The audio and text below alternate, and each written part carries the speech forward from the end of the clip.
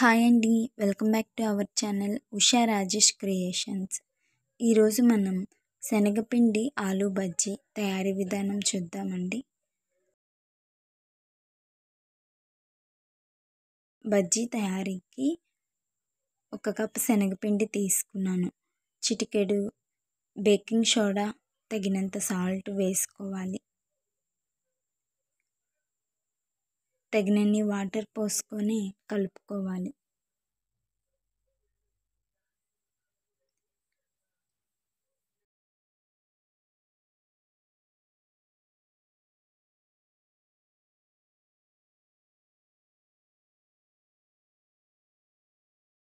మరికొన్ని water add చేసి బాగా కలుపుకోవాలి. ఈ విధంగా రావాలండి. ఎలాంటి బబుల్స్ లేకుండా స్మూత్గా కలుపుకోవాలి. ఈ విధంగా వచ్చినప్పుడు ఆలు వేసి తీసేటప్పుడు ఆలుకు పడుతుంది.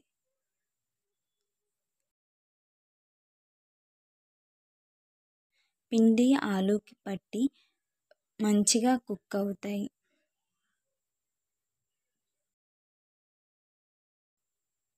సన్నగా కట్ చేసుకున్న బంగాళాదుంపలను ఈ మిశ్రమంలో వేసుకొని వాటికి పట్టించి ఆయిల్లో వేసుకోవాలి.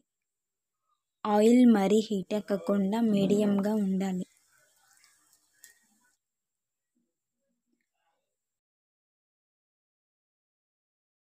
ఆయిల్ ఎక్కువగా హీట్ అయితే మాడిపోతాయి. ఇలా రెండు వైపులా తిప్పుకొని ఈవెన్గా ఫ్రై చేసుకోవాలి. గోల్డెన్ కలర్ వచ్చినప్పుడు తీసేయాలి.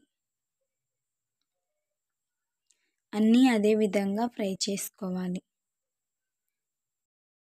సింపుల్గా టేస్టీగా తయారు చేసుకోవచ్చండి. తప్పకుండా ట్రై చేయండి. వీడియో నచ్చినట్టయితే లైక్ చేయండి షేర్ చేయండి సబ్స్క్రైబ్ చేయండి బెల్ ఐకాన్ క్లిక్ చేయండి. Thank you for watching.